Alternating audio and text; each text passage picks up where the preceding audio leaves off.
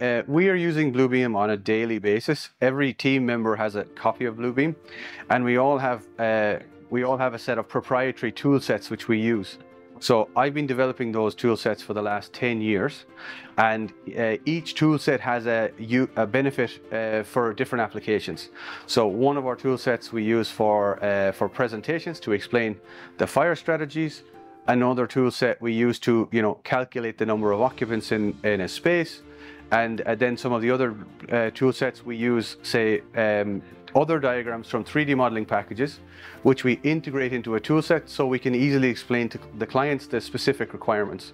So Bluebeam is basically an all-round uh, PDF software, which I am, uh, you know, fully passionate about and enjoy using on a daily basis.